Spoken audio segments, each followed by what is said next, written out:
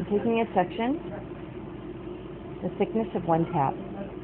That's how we determine how much hair to put in it.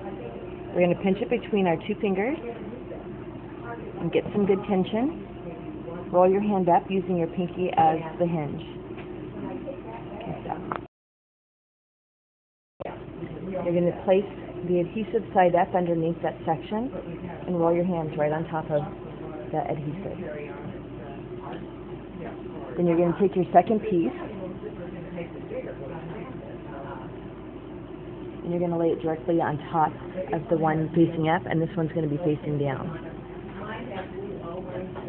You're going to pinch them together and that's one extension.